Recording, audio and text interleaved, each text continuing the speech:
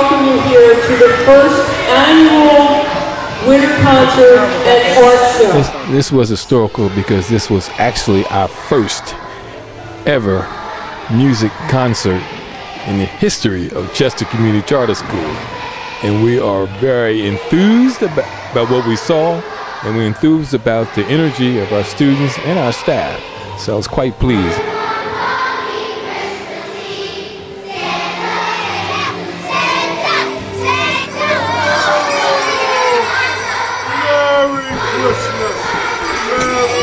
How are we doing, boys and girls?